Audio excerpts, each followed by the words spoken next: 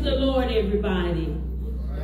Praise the Lord, everybody. For this is the day that the Lord has made, and I will rejoice and be glad in it. There is no place I'd rather be but in the house of the Lord. For we are Refuge Temple Ministries, and we are a fellowship of love. And we're located at 105 Joseph Lowery Boulevard, Atlanta, Georgia, 30314. And we're under the direction of Dr. Bishop Elijah Solomon, who is our senior pastor, Elder Tyrone Sherman, who is our associate pastor, and also Elder Thomas Ponder, who is the assistant pastor. For we come to worship and praise our Lord and Savior Jesus Christ.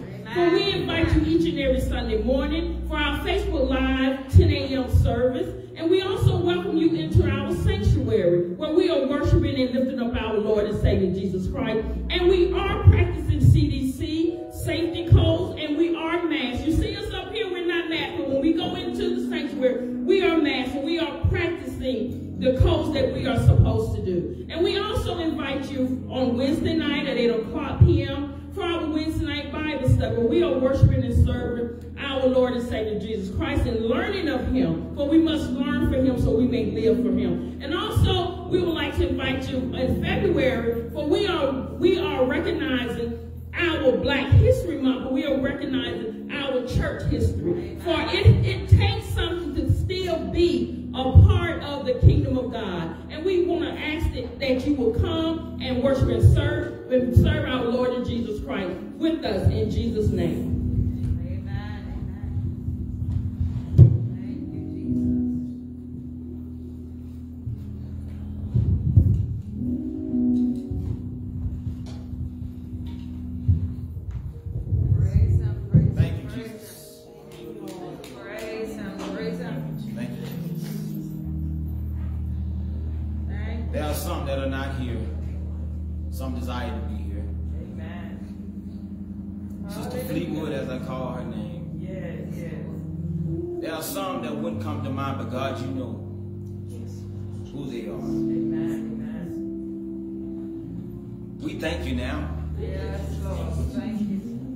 Praise you now because we know you are the healer.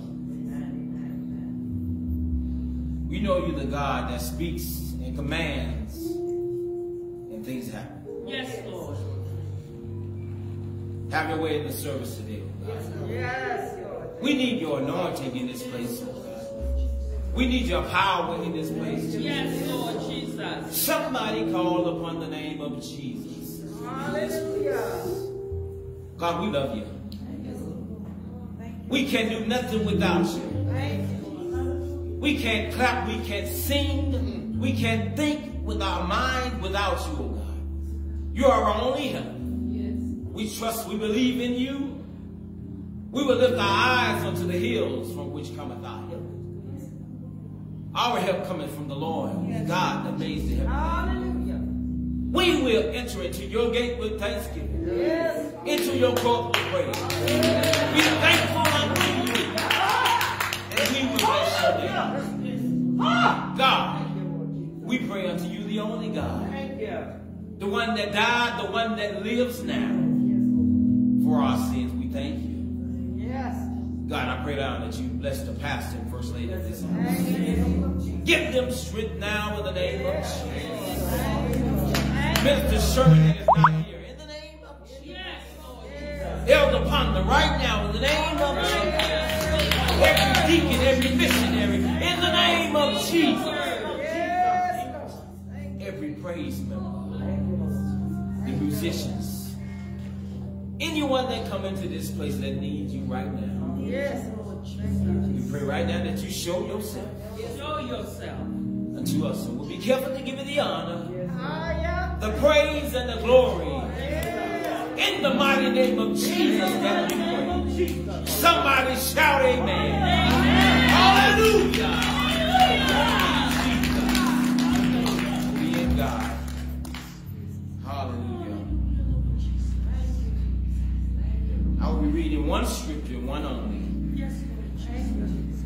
It's the book of Psalms. 30th chapter, 5th verse. And it reads, for his anger endured but a moment. Yes, Lord. in his favor is life. Weeping may endure for a night, but joy comes. May the Lord have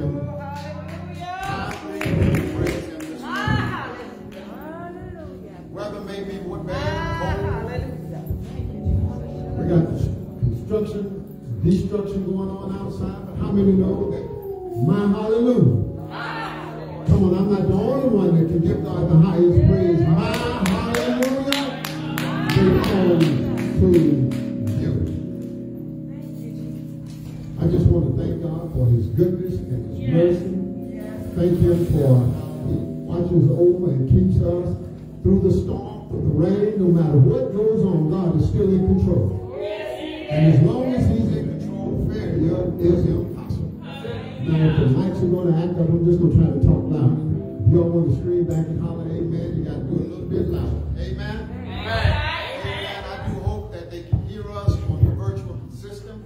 But I believe that we came into the house of the Lord just to praise Him. I don't think we've come this far with treacherous weather, cold weather, parking lot issues, with, with, with debris.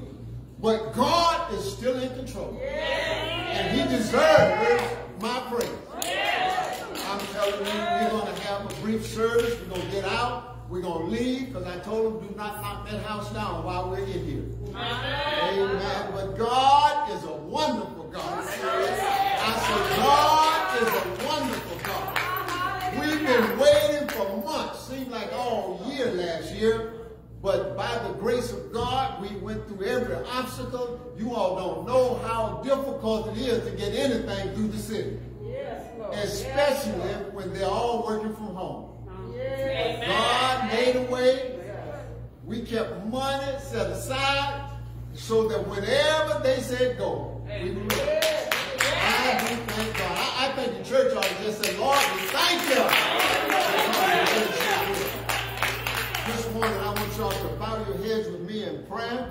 I want us to remember our very own uh, missionary Catherine Fleetwood. God is touching her body. We want to remember Mother Lula Chapman, that God continues to strengthen her. Mother Chapman is, is way up in age, but she's still clothed in her right mind. Able to talk about the name of Jesus Christ. So we want to continue to keep her in prayer. I ask if you all will continue to pray for the patriarch of the Fishermen of Men Church in Washington, D.C., Mother Nettie Groover. Amen. She had many sisters and brothers, but her last sibling went home to be with the Lord last week. So let's pray for that family that God will continue to strengthen and keep them. You know somebody that needs prayer. I'm telling you, everybody knows somebody that you can call their name before the Lord. So let's pray. Let's pray together in the name of Jesus Christ. Lord God, eternal and everlasting provider of our every need, we thank you for your goodness and your kindness toward us. We've assembled today, Lord, to fellowship one with another. We've come together not to socialize, but to uplift the name of Jesus Christ. We love you because you first loved us. Bless those that are grieving. Bless those that are healing. Bless those, Lord, that you know the condition, the situation in their life. Keep us safe and sound as long as we have this inclement weather where there may be sleet, may be snow, may be ice, but help us to stay safe and sound. In the midst of a pandemic, you're still a God. The same God that can heal cancer and diabetes and liver problems can heal us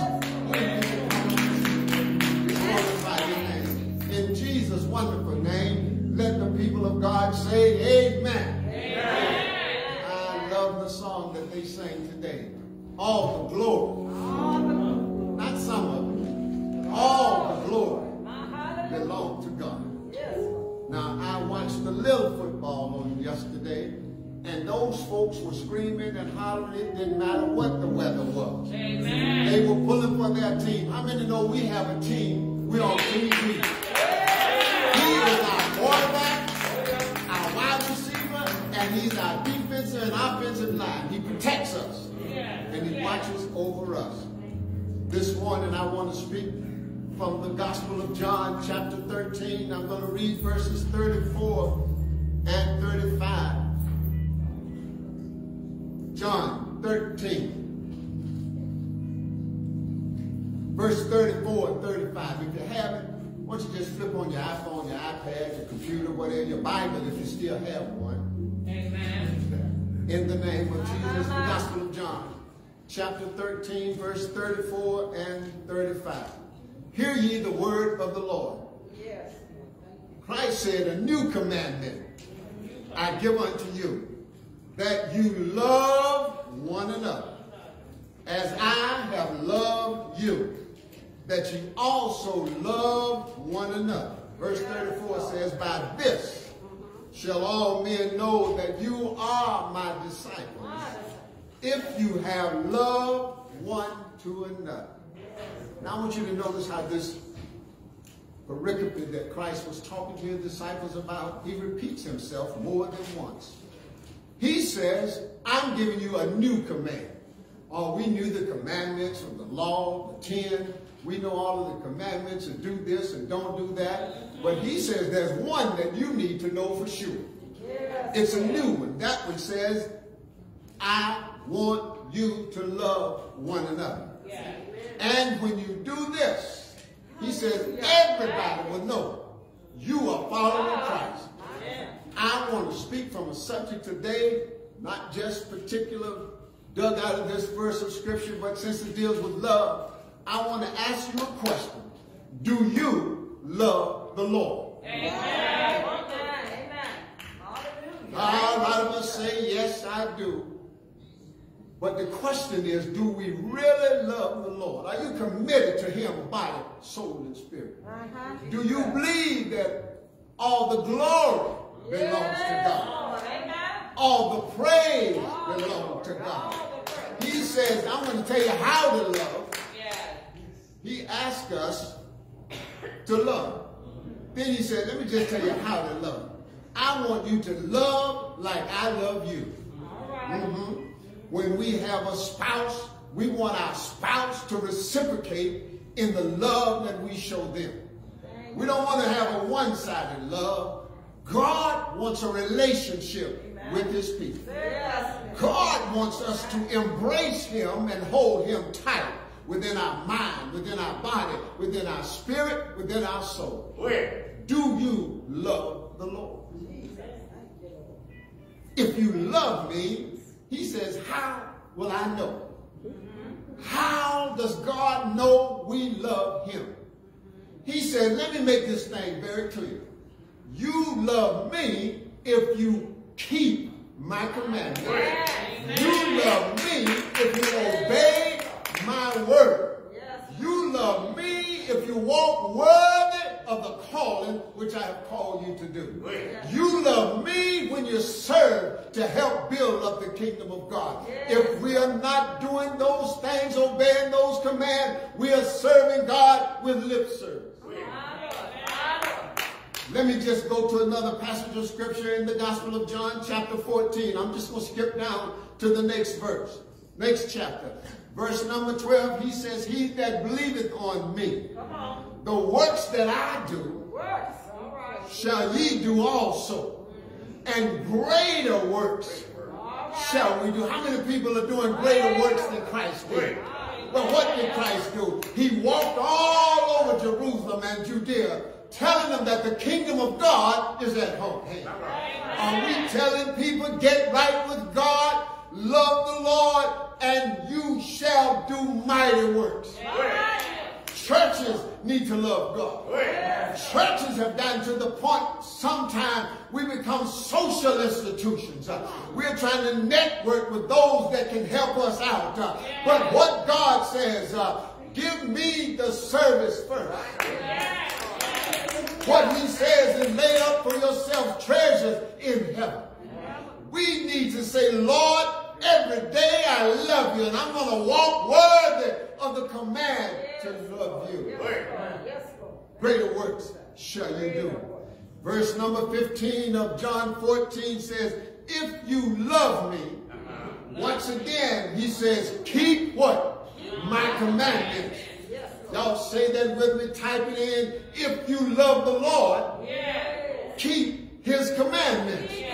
How do we know his commandments? It's not what Dr. Phil says. It's not what Oprah says. It's not what the legislators or the representatives say. It's what the word of God says. If we love him, we will obey him. You know, just in case some people don't know what command mean, obey, it means if we love him, keep his word and obey him. You know, we've gotten to be a society now where we don't want to obey anybody. Uh-huh. In the age of enlightenment, they said, you know, it's all about me and what I think mm. and how I believe it ought to go. But if you love not going to jail, you will obey the law. And even then, sometimes we don't. And we get away with it. Every time I run a stop sign, run a red light by accident, the first thing I do is look back in my mirror to see if there's a policeman somewhere around. Well, when I disobey God, I look into the Word to see if God is looking. Then I read it says he sits high, looks low. And he's riding all the time. If you love the Lord, you need to obey his word. Let me move on down to chapter number 15 in the Gospel of John. He says, verse 10, if you keep what? My commandments, ye shall abide in my love. If we obey him, we stay in the love of God. How many people want God to love them? I, I, I know I want him to love me from the crown of my head to the sole of my feet, from the extremities of the right to the extremities on the left. I want God to embrace me and hold me and tell me I am his child.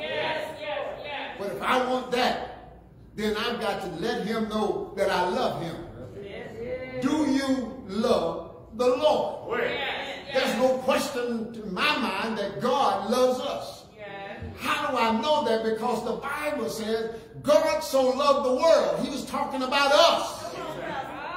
That he gave his only begotten son. How many of us are willing to sacrifice for somebody else? How many are willing to go out of their way to let people know I will encourage you and, and I will support and help you out? Why? Because I love you. Where? But I love God first. If you don't love God, you're going to have trouble loving people. Amen. Let me say that again. Why there's so many games? Because they have lost the relationship with God. Amen. After we lose a relationship with God, we have a tendency to lose relationship with family. My God. My and God. once you get to the point you don't care anything about yourself, you don't care anything about anybody else's life. That's why they're drive-by shooting. That's why people ride down the expressway and point a gun at somebody else. Is because they don't love God. They might go to church. They might wear collar, turn around backwards and stand in pulpits. But do they love God? We all need to ask ourselves that question. John 15, verse number 12. It's amazing how this gets repeated again. He says, this is my what? Commandment. That you love one another. And here's how you love them the way that I love you. All right. How many people in here used to be a sinner? Amen. Now, if you don't raise your hand, you don't know the word. Because we were born and shaped in here. We came into this world with a sinful soul. But God loved us so much. You're not just sitting in sanctuaries because you don't have anywhere else to go unless you're just trying to stay warm during the morning when the church is open. But if you love the Lord, you will say, I'm glad when they say let us go into the house of the Lord. Another commandment says, love each other.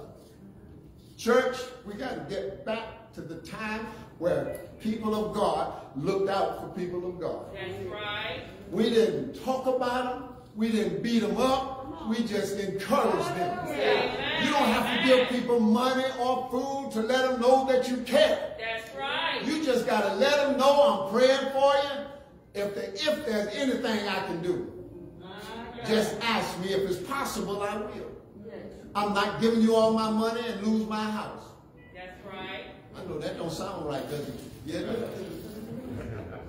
All right now. Because if I have to do that, it won't be long. You're going to lose that. That's right. My Lord. So God gave us good sense. That's right. Help folks, but don't hurt yourself. Do you love the Lord? Yeah, yeah. Let me just go down a little bit further.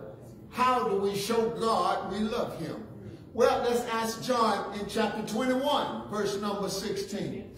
Simon, son of Jonah, he was saying to him, Do you love me? He answered the question, Yes, Lord. Jesus looked at him again and said, Do you love me? Yes, Lord. That's amazing. God has to ask us more than once, do we love him? I believe he's speaking to a lot of our minds and hearts right now, saying, do you love me? Yeah. Jesus. And then Christ asked him one more time, do you love me? All right. He got a little smarter this time and says, Lord, you know that I love you. So Christ answered him, says, if you love me, feed my sheep. How many of us today can say we love God, but we're not feeding any sheep? We're not teaching anybody how to live holy and how to live. I'm not talking about what we talk about. I'm talking about they can see our walk, hear our conversation, and know that they can follow me as I follow Christ. If you love me, feed my sheep. Today we call that discipleship. Today we call that teaching one another. How many are teaching their children at a young age to love the Lord? Yes, Lord. Thank you, Jesus. We teach them to go to school. We teach them to play sports. We teach them to get involved in all kinds of stuff. But we don't teach them to love the Lord first. He says, seek ye first the kingdom, and all of this other stuff will be added unto you. Yes. Just in case you think John is the only one that talked about love, let me go back to the book of law. In the book of Exodus, the Bible says, God spoke and says, I am the Lord thy God. Uh-huh. I brought you out of the land of Egypt. Yes, I brought you out of the house of bondage. Oh, Some of us need to say, it was God that brought me out of sin. Oh, it was God that picked me up. It was God that took me out of the muck and mire. It was God that redeemed my soul. Oh, that was our bondage. Thank you, Lord. Then he says, thou shalt have no other God before me. Stop worshiping stuff and start worshiping God. Do you love the Lord? I said, do you love the Lord? He said, I am a jealous God. Anybody been in a relationship with somebody that's jealous? You can't do anything right. They, they got trackers on you. Where you go? Who you been talking to? Why are you spending so much time in her face? Why is he always coming to you first? You supposed to be my wife, my girlfriend. I don't like you spending all that time around him. Why? Because there's some jealousy. Want those that we know in relationship with us to make us number one. God says, I am a jealous God. And thou shalt have no other God before me. You shall not bow down to them. You shall not serve them. Why? Because put me first. And when you put me first, you can have all of these blessings in the name of the Lord. In Exodus 20, verse number 6, he says, I will show mercy unto thousands of them. How many people know I'm part of a thousand? And who does he show mercy to? I shall show mercy to thousands of them that love me. All right. And he caps it off by saying, and keeps my what? My commandments. I will show mercy to thousands of them that love me. You can write this down, Exodus 20, verse number 6. I, God, will have mercy on you if you love me and keep my commandments. I want you to notice that little word letter he put in there, if. Yeah, my God. That's a simple two-letter word, if. Means maybe you do, maybe you don't. Maybe you will, maybe you won't. If you love me, you will keep my commandments. You will obey what I have ordained and given you a covenant to do. Now, down through five generations, five dispensations, God has always given commandments. Yes, Lord. And through the first five, from law to innocence to conscience to self-government, all of those, they disobeyed God. Yes, they did. Amen. Even though God loves us, he will reprimand us. Yes, he will. Amen. Any parent that loves their child will reprimand them. Yes, they will. They used to reprimand them so that it meant something. My God. Now we reprimand them with time out. Go to your room. They got more electronic gadgets in their room than you got in your living room.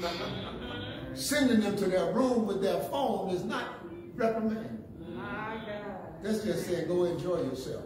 God. Doesn't work like that.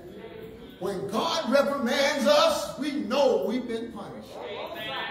But the good news is, no matter how much he reprimands us, Isaiah says he stands with outstretched arms. Yes. He loves me so much, he won't leave me in Egypt in bondage. He loves me so much, Joseph can tell you, he won't leave me in a pit. He loves me so much, he won't leave me in the prison. you. Yes. Yes, Lord. I will bless you, and everybody will know you were blessed. Yes, Lord. Yes. God can restore a people. Thank you, Jesus. God can restore a church that doesn't love him. Just as he did with the dry bones. In Ezekiel, somebody said, can these bones live again? Ah. Somebody wants to know, can churches live in the 21st century? Can they continue to exist through pandemics? Can they exist? God knew this was coming. That's why we have all of this social media today. That's why we can reach more people now than ever before. Amen. Amen. Yes, Lord. Can these bones live again? Prophet says, you know, Lord. How many today can say, do I love the Lord? Tell him, you know, Lord. Just as we Simon said, you know, Lord. God knows if you love him or not. God knows if we're giving him lip service or not. Thank you, Jesus. If you don't love him, the thing you need to do right now is do what David said in Psalms 51, verse number 10. Create in me a clean heart. Mm, that's one thing. Create means from nothing. But I love the second half of this verse. He says, Oh God, renew a right spirit in me. That means I had a right spirit. But somehow my love for God has waned that, and it's not the same as it was when you first saved me. But Lord, renew, bring back to me the right spirit. The right spirit says, I will show you that I love you just like you loved me. If you love God, praise him. That's why I like the song that our birthday boy sang this morning. Yes, Lord. That's just a little sidebar to say happy birthday. Oh, thank you, Jesus. If you love him, praise him. Yes. Tell him all the glory Oh, belongs to you. All the praise belongs to you. The increase on my job belongs to you. That spouse you gave me belongs to you. All the glory, all the praise belongs to you. Yes, My praise belongs to you in Psalms 150, belongs to you in the sanctuary. Uh-huh. It tells us to praise him in the sanctuary.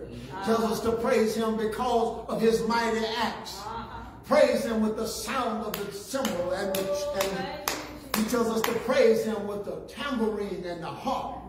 He says, let everything. I might not sing like, well, I might not testify like him, but the Bible says, if you can breathe, let everything. Let everything that have breath. Let everything. If you're breathing, it says if you got breath, praise the Lord. Then he repeats it, praise ye the Lord. How many people know that I can praise him? Amen. I don't have to wait till Sunday morning. That's right. When you get up in the morning and say, Lord, I thank you for a safe night. Yes. We think that we just wake up because we set the clock. There was a doctor, I believe they said from Brazil, visiting here in the city. In one apartment, somebody in another complex starts shooting a gun. The next thing you know, the bullet struck him in his bedroom and he died. When I wake up, I say, Lord, I thank you. When I drive down the road, I say, Lord, I thank you. When I see a bad wreck and they covering up somebody, I say, Lord, I thank you. But for the grace of God, that could have been me. Let everything, anybody here breathing? Yes, If you're not breathing, please let us know. because we can just go walk next door and have somebody take care of you. Amen. Let everything that have breath. In other words, he says praise, but I, I'm going to extrapolate it a little bit. If you're breathing, you need to ask yourself, do I love the Lord? Yes, yes. Is he primary in my life? Is God the king that sits on my heart's throne? Will I obey his word? I'm going to close with the words that was written by Frederick Whitefield when he wrote the song that says, Oh, how I love Jesus. Uh-huh. Oh, how I love Jesus. Oh, somebody ought to know these words.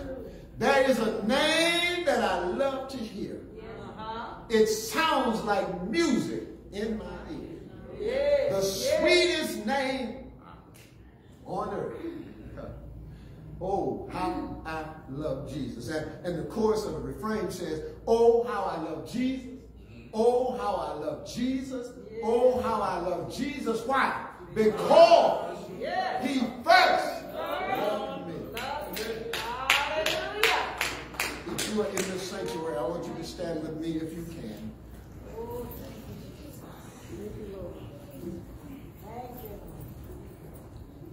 Love lifted me. Love lifted me. When nothing else would help, love lifted me. Love lifted me. Love